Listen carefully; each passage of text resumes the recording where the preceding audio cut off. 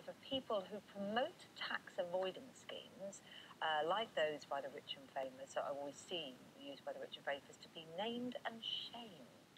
Yes, there's a, there's, there's a couple of stories here. As you say, um, one committee of MPs is saying that people like, I think we remember Jimmy Carr last year, of course, was taking all his finances offshore and, and therefore avoiding paying on tax, uh, will be made to do so. And also, um, I think that's more interestingly, Labour leader Ed Miliband yesterday said that those big corporations, as we call Starbucks, Amazon, and Google as well, last year were found to be using very clever legal loopholes to avoid paying tax. And what he's saying is that we're not going to necessarily make them pay tax. That's a very difficult thing to do. The Prime Minister is going to attempt when we run the G8, uh, chair the G8, to, to sort of work with other nations to do that. But he's saying, why don't we at least make these companies declare how much tax they pay?